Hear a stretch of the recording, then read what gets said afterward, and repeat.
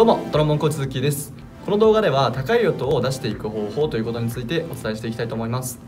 え高い音すごく難しいですよね。こう抵抗があったりとか壁がすごく感じられたりしてなかなかこう超えられないなっていうような悩みがあると思います。で高い音の攻略する方法ということで他の動画でも攻略の方法を解説してるんですけれどもそこよりも少しこう細かい部分を今回はお伝えしていきたいなと思います。で今回お伝えするのは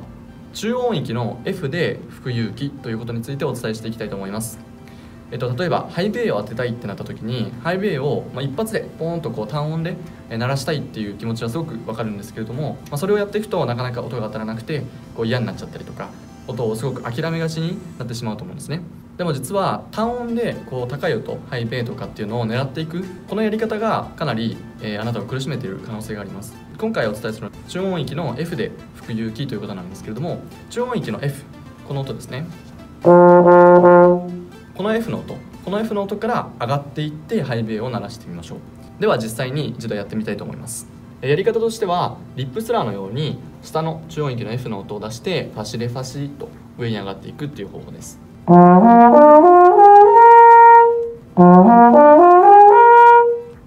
ゃ逆に単音のハイベイだけで鳴って吹いてみます。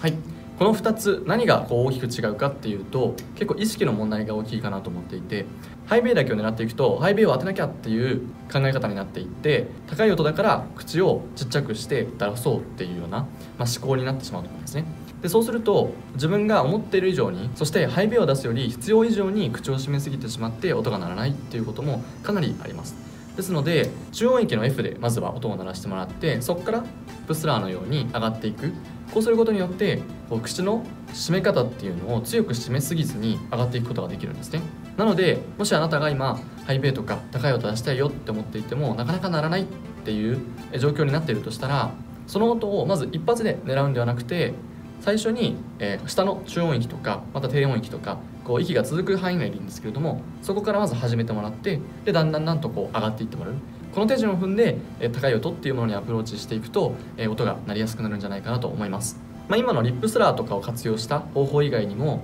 えー、音階を活用した方法だとかあとはこのスライドですね。スライドのグリスサンドを活用した方法などを他の動画でご紹介していますのでそちらもぜひご覧いただければと思います。ではこの動画はこの辺で終わりにします。ありがとうございました。